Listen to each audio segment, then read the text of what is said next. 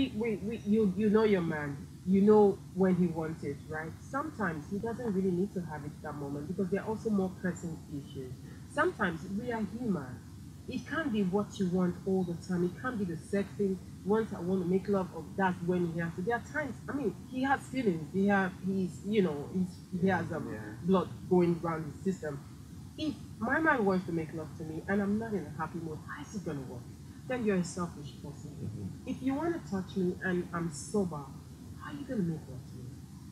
Some people And, know and maybe maybe this maybe this no no but you see you see we have these some of these things are the causes that's why I said sometimes Yeah. it could be before do you know you, you he may want to make love and I, if I'm a man I want to touch my woman and she's not responding hell no I won't do that Hmm, that's why you are not a man. Anyway. no no no but it's a serious it's a serious issue